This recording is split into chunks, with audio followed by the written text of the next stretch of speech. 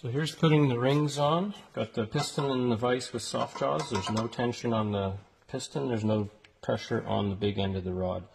You can take the expander, you're going to put it into the bottom groove. Right, that's the expander for the oil rings. going to spin that around. Uh, the oil scraper rings are a flexible stainless steel, so we can just spiral those. So this one's going to go in the bottom groove, and we're really just going to spiral it around the ring expander. The second oil scraper goes in the top of the expander in that bottom groove. There we go. We can finalize the position of those at the end of this before the pistons go in. Now, if the ring has a dot or a label or marking on it, that is directional up.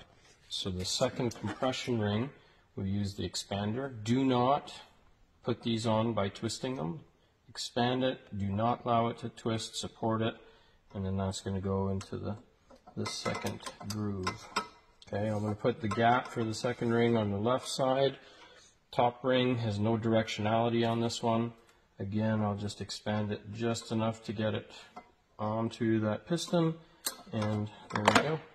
Tickety boo. Should be free to move.